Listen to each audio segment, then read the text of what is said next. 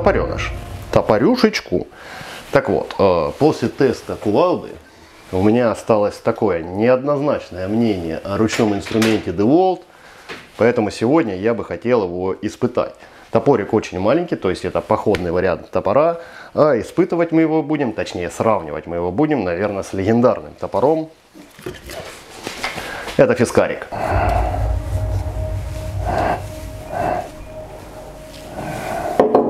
Так вот, фискарик у меня был куплен как походный вариант, но в поход я с ним еще ни разу не сходил, поэтому этот топорик абсолютно новый. Такой же новый, как и Деволтик. Есть у меня еще Гардена, а о ней мы поговорим, наверное, в итогах. В этих соревнованиях она участвовать не будет, поскольку Гардена больше, чем Фискарик и намного больше, чем Деволтик. Рабочая часть топоров примерно одинакова. У Деволтика он закруглен, то есть это скорее для колки дров. У фискарика более ровное лезвие, но более универсальный топор получается. А поскольку у нас разрешили собирать валежник, вот сейчас мы пойдем и будем искать этот валежник.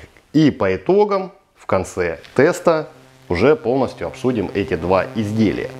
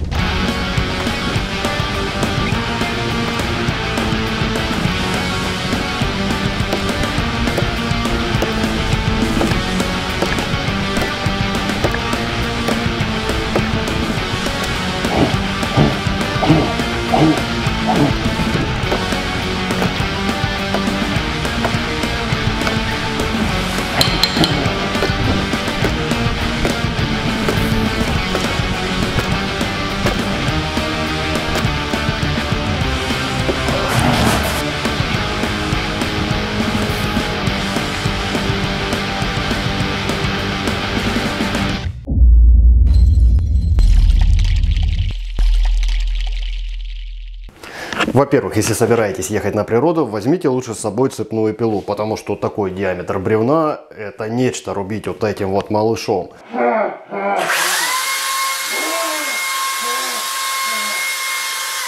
Итак, деволтик и фискарик мы также сравним с топором Гардена. На самом деле это хусхварна, просто свои топоры они почему-то обзывают Гардена. Он у нас в тестах не участвовал, поскольку находится несколько в другой вес весовой категории. Но этим топором я работал. Работал так же, как и этим, исключительно на дровах. То есть сухая древесина мягких пород. И мне есть что сказать об этом топоре. Для начала небольшой визуальный осмотр топоров после работы. Краска, конечно, на фискарике постерлась, причем подстерлась знатненько, но рабочая часть в очень хорошем таком состоянии. Что же касается Деволтика, свою рабочую часть он не стал красить, красавцы. Особых повреждений на ней нет. И топор DeWalt изначально острее. То есть мы его достали из упаковки, и он сразу был острее. На самом деле круто. Я не ожидал. Я думал, будет, ну, как обычно, не очень. Причем хочу отметить по стоимости. Топорик он стоит, по-моему, вдвое дешевле. Вот что-то в районе двух косарей он стоит. Этот стоит 4 косаря. И интересный факт. Топор Гардена. Э, год назад вот этот большой топор я покупал за 3000. Сейчас он стоит 6. Горденовский топор по размерам такой же, как деволтовский, сейчас стоит 3500. То есть он будет меньше, чем фискарик, а фискарик шел в комплекте еще с ножом. Отдельно нож около косаря стоит. Ну, нож так себе, как-нибудь потом расскажу. Так что Гордена почему-то завышает цены. На, по качеству этого топора начнем с элементарного, с рукоятей. Горденовский Рукоять фискарика вообще классно они сделали вот эту часть. Очень и очень хорошо лежит в руке. Деволт сделал резинку. Если работать без перчаток, ну такие себе удовольствия, если честно. Фискарс прям вообще приятная на ощупь, рукоять приятная на ощупь. У Деволтика она внешне почти точно такая же, но все-таки не такая же. Горденовская, блин, вообще чмо на самом деле. Неудачная, неуютная. И рабочую часть я хочу показать топора Гордена. Этот топор колол только дрова. То есть вот здесь выбоина, а вот здесь он заминается, он гнется. Я не скажу, что это кованый топор хорошей закалки, раз металл гнется. Он должен выкалываться.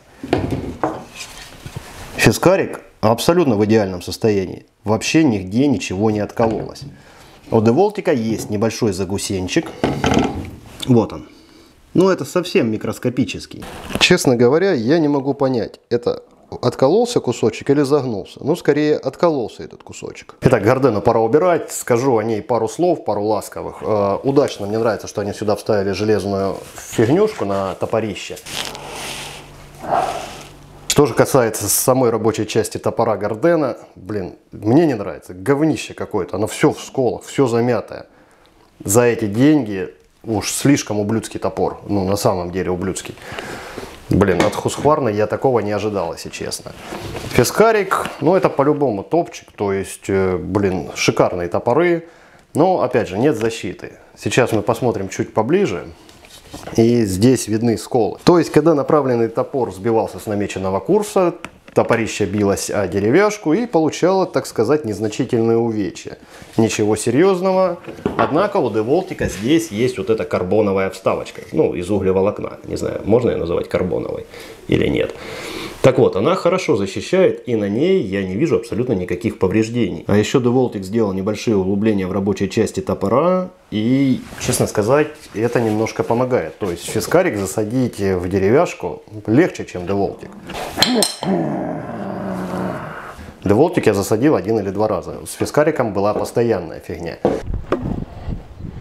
И еще один плюс деволтика это то, что он уже изначально идет острее, чем фискарик. Рабочая часть у него заточена несколько иначе, она будет потоньше, чем у фискарса.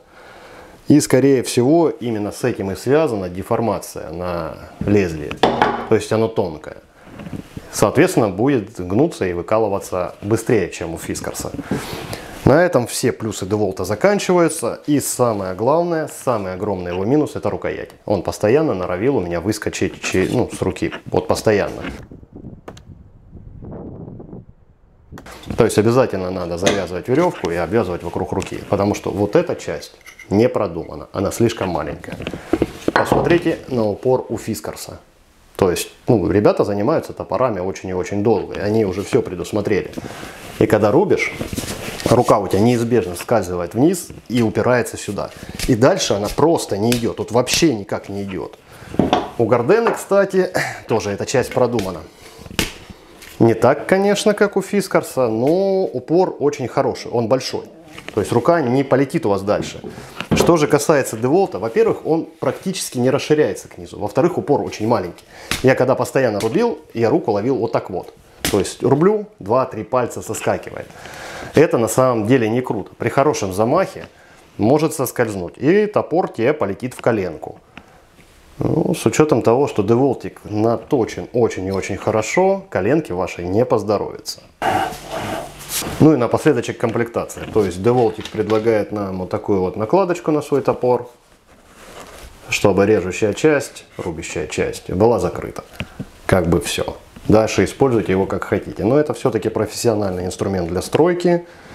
Так что, скорее всего, это ну, нормальное решение. У фискарика идет вот такой зажим, который можно повесить на пояс. Причем, ну да, очень узкий. Не каждый ремень сюда войдет. Есть условная рукоятка, чтобы его переносить. То есть замочек закрываешь и засовываешь вот сюда свои корявки и можешь его переносить. Ну, блин, корявки сюда не влезают. В остальном все прикольно. Ну и как я говорил, рукоятка у фискарика вообще изумительная. Просто, просто класс. Вот вообще нереально крутая рукоятка. Итак, итоги. Завершаем сегодняшний обзор. Деволтовский топор имеет место быть, он стоит своих денег. В принципе, достойный топор, вот на самом деле. Так что пиликать на ручной инструмент DeWalt, в частности топора, я не собираюсь. Топор, топор, топор. Это же топор, топорик. Топореныш. Зачетный. До новых встреч.